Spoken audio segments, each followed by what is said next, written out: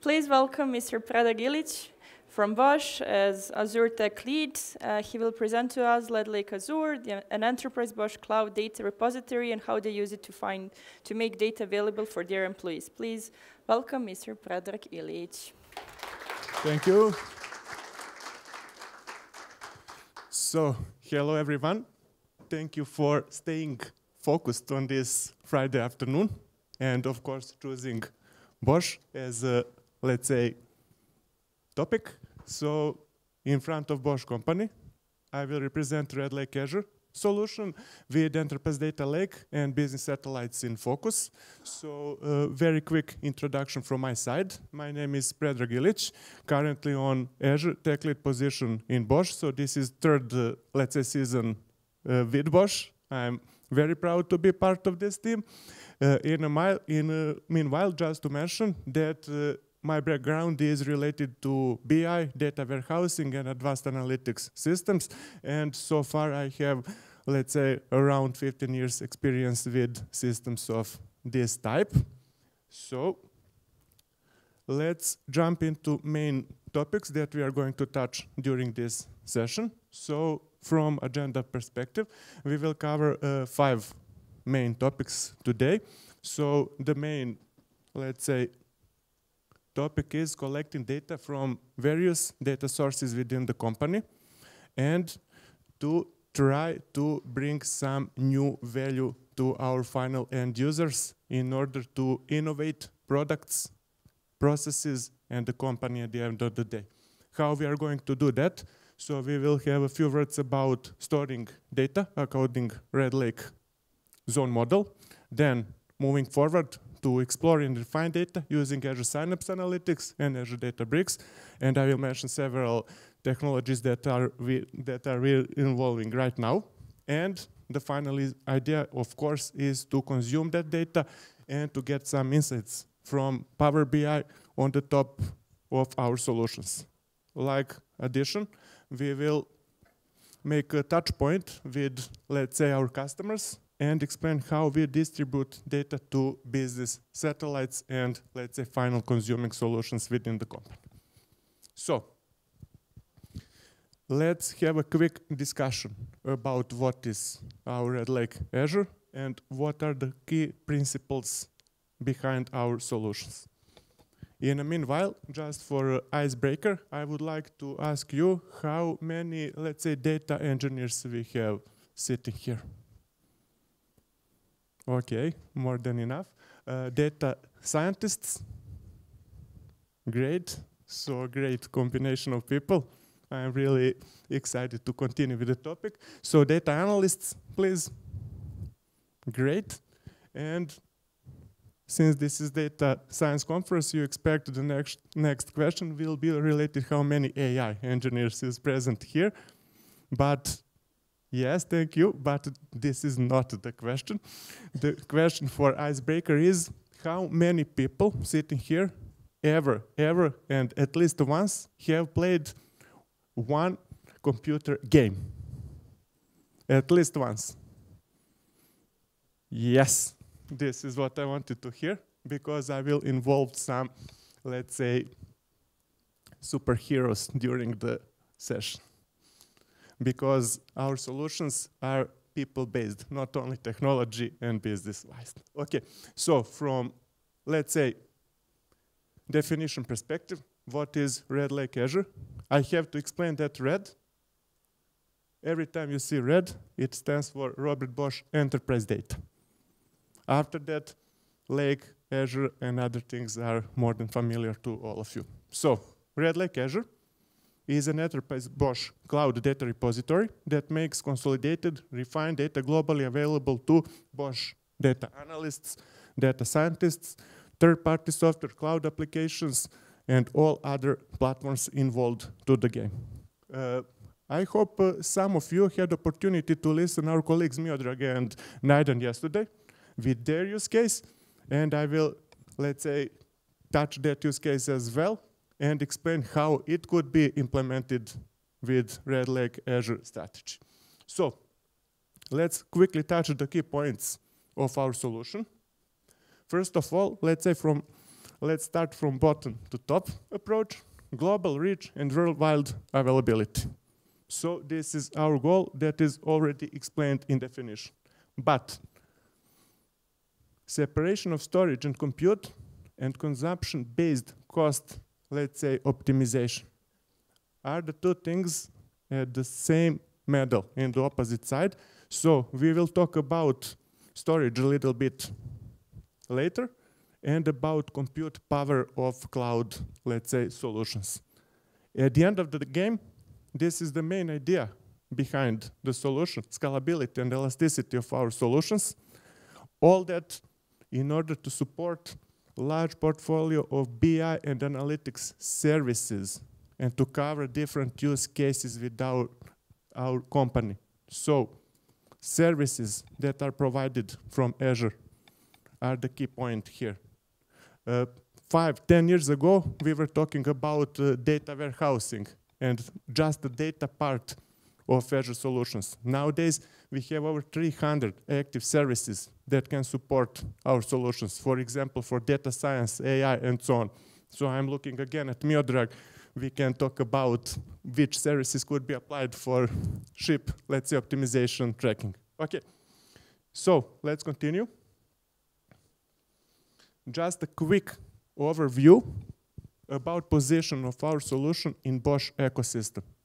I introduced the ecosystem term here because we are not talking about only data transition, data transformation, data workload, data, data, data, but with process and business needs at the end of the day. So this is the physical place of Red Lake Azure in the main picture worldwide regarding Bosch, let's say, solutions. As you can see, in this key, let's say, point of the slide, there are several other components involved so far. This is just a first level of our architecture. We will touch it deeply a few minutes later. So, what we can do, we can enrich the data with any data source involved with the company. But so far, I have to mention that our solution is some kind of new star born in the system. We already have something on our on-prem systems and it is called very similarly, just Red Lake, and it is based on-prem. So Red Lake ecosystem is collection. I had a discussion in the hall few minutes before the presentation. So Red Lake ecosystem is at the first sight replication of SAP, let's say data within entire company. While we are talking about data sizes here, this is already over 700 terabytes in the total. So this is just the main and first data source in the company. We are not talking about only data replication. The man uh, can ask, okay, what is the purpose of your solution? You're moving the data from source to source to source and moving it to the cloud, pushing up to the cloud. So this is not the idea behind. Red Lake Oracle already has, let's say, some kind of model and levels of data refinement. I will touch it in the next slide. So we are taking uh, regarding different use cases in the business needs in our company, whether original data, refined data, already refined data in SAP, in Red Lake, on-prem, we can do additional transformation later on and of course enable data to be accessed from external platforms, from our Red Lake Azure ecosystem or Red Lake on-prem systems. Just to clarify the things, you have external platform X, so it can stand for some kind of portal application that reads the data already refined on-premise. For example, let's say some kind of stock information on our portal, some kind of application used within the company, in our fabrics and so on. But this is not the only source that is touched within the company. So they are already enriching this system with other platforms involved to the game. And the next star was born with the idea to utilize all services with Azure and to extend it with other services that are out of scope. That left part of the picture to do next stage of, let's say, transformations and to use Azure services and other cloud services at the end of the day. So we have one, let's say, enterprise customer that uses, for example, combination of raw data from SAP, refined data that is refined already in Red Lake on-prem. They are combining the data with AWS data. So we have cloud-to-cloud -cloud integration here. All data will be hosted in central Azure data lake, let's say ecosystem. Then you can play any game you want, forward to external platform, maybe to some kind of Power BI report, stock report, and so on. Or you can push the data forward to business-specific customer needs. I will touch self-service systems and Red Lake business satellites during the next slides. Just wanted to give you a high-level overview of our solution. So, and the interesting part here is that back, right back arrow. For example, we can provide a new value to the company, make some kind of advanced transformation, segmentation for businesses, for customer needs, anything you want, and write it back to core business. And enable our end applications and on-prem world to use it as well as, let's say, cloud technologies at the end of the day. Now we are switching to level two of our solution. And the idea behind this slide is to distinguish that blue and green part. So this is the only purpose of this slide. Later on, everything will be displayed in the detail. So the left part, represented in blue, is related to our connection to sources and to our central solution that I mentioned. The green part is reserved for customer side, for serving side, side, sorry, and of course data analytics, AI, data science, and all other things at the end of the day. As you can see, both stream data and batch processing are involved here to our Red Lake ecosystem. Since we are very, very limited with the time, today we will touch batch scenarios, but at the ending I will mention some things about combination with streaming data as well. So, distinguish between central and our customers' subscription is the key point here. So let's discuss about our key slide today, and I will take the most of the time here. So from technical perspective, since we have, let's say, 50% of data engineers involved, I think you will be familiar with architecture and you will be interested in it. And we will touch, of course, analytics, data science part, and everything as well. I will leverage the information according to public setting here. So the main information here from business perspective, not from technical perspective, is that let's say, zone model of our solutions. The first one is related to Red Lake Azure on-prem. This is the main source for our solutions, but don't forget all other types of sources. So they already have raw zone, original data, harmonization, refinement, delivery, and so on. For example, we have refinement zone here. Customers can refine the data and provide segmentations, for example, and all other extended values from the data directly on on-prem. So our use case can be, okay, take that, make something new, and push the data to, let's say, final business satellites. We will talk about what business satellites are. We can pull raw data and then do some additional transformations regarding customer needs and demand. And of course, we can do refinement, we can do segmentations and everything needed from us. This is the reason uh, why I'm mentioning that ecosystem terminology, not only data flows and technical things involved to this slide. But okay, from technical perspective, I can say so far from networking point of view that we are using proxy for service, MS integration self-hosted runtimes for people interested in that part. And we are, let's say, switching to ExpressRoute approach to have, let's say, enterprise approach from networking and security perspective as well. But the central figure for this session is that blue zone on the slide. Okay, so let's involve some tools to the discussion. Of course, the I think one of the five most popular Azure tools is, of course, Azure Data Factory. We are doing all, let's say, data movement and transformations within Azure Data Factory. And then the central figure of our solution, you can recall that I already mentioned distinguishment uh, uh, in combination, let's say, in storage and computing processing. So the main figure here is, is Data Lake Gen 2.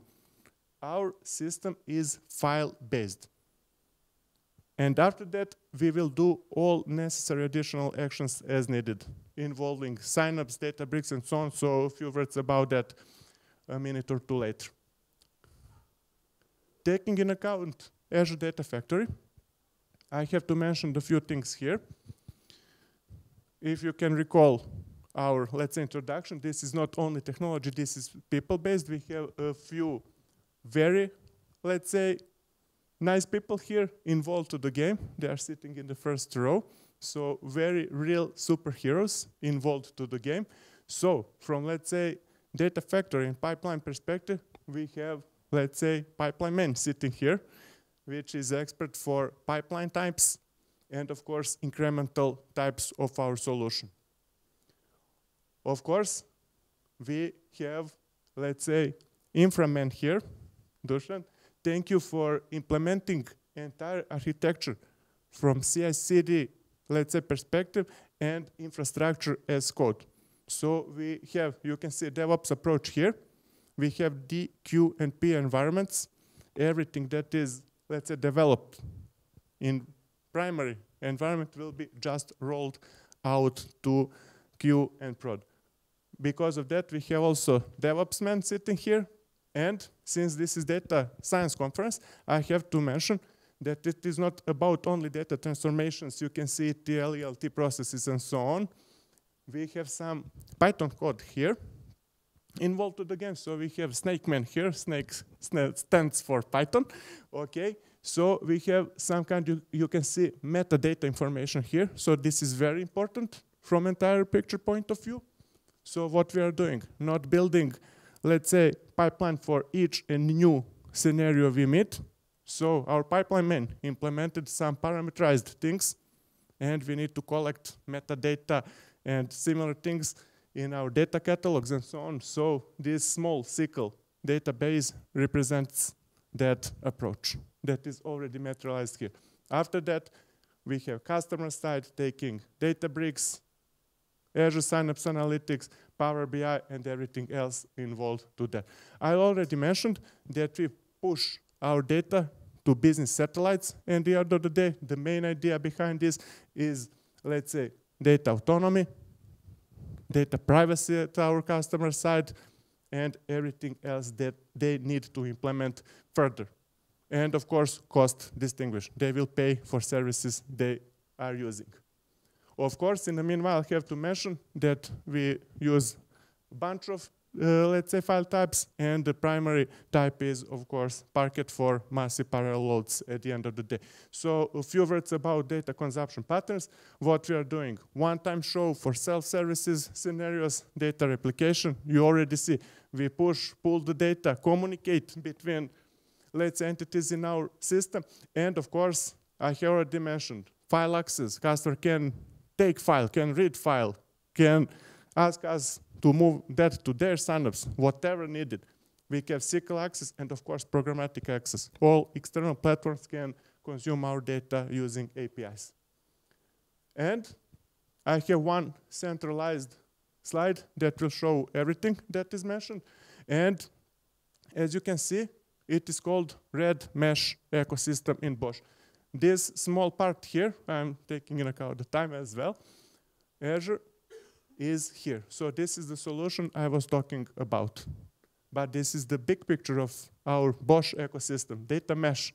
You can see all other platforms involved to the game. You can see all customer-related domains, on-prem and let's say cloud-based. Automotive, XBI. X is for any BI, FBI, financial BI, marketing BI, and so on. CCMDP, our Chinex colleagues implemented very powerful chat bot on the top of our data, consuming the various data from cloud platforms, from big data streams, from SAP, and that chatbot is, let's say, teached to say and answer all questions uh, with application that is implemented on the top of that. I have already mentioned uh, the topic that Miodrag and Naidan addressed yesterday. So their next intention is to move their data to this kind of platform to utilize Azure services from scaling and cost perspective and get some magic from Python codes. This is all supported from this architecture. At the end of the day, I have to mention that we already introduced three minutes, more than enough. Tableau, SAP Analytics, Power BI, and Grafana. This is from front-end perspective. But what is the idea behind the scene? We want to establish data ownership to have end-to-end -end picture about all data within the system. So if you imagine the sand clocks and watch, and kind you want to say, so we are in the middle of that. We are taking everything, we are distributing anything needed. So we have all customers involved here, implementing data catalog to know the, let's say, origin and information about our data, and of course to enable self-service platform, federated government, but domain ownership of our data. At the end of the, the day, we want to have data as a product, data as a service. And you will show one minute, pick it up. Yes, okay, so for end of this topic, I want to mention, you see, the entire picture is called red mesh. So this is not only solution, this is ecosystem, this is a journey that stands for last, Samir, correct me if I'm wrong, three to five years, and we are pushing forward. In order to transform that last letter, sometimes the uh, years are needed to have one letter transformed from data mess to data mesh. And I think we are all on the right way. Five seconds left. Thank you.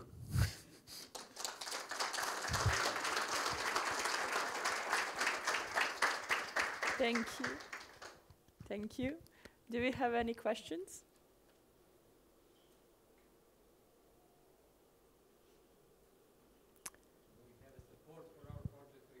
Can you wait for the mic so we can record it? So this is a promise that we have your support to transfer our project to the Azure. this is not instructed question, but no, no, this is improvised. I have to mention that we have end-to-end -end process of data onboarding, let's say established within the company with, let's say, uh, tech requests and so on. You, so you can apply for data needed, for storage needed, and for, let's say, type of service that will be implemented here and we will support you and let's say enable it as a business satellite. So this is the end of the game here. Anything else? Seems it is all clear or nothing is clear. Well, if you have any other questions, you can always find Mr. Frederick uh, on a coffee break, which is following this. And it's gonna last until 4.45 p.m. And then after that, we continue with this track. Thank you very much. Thank you again.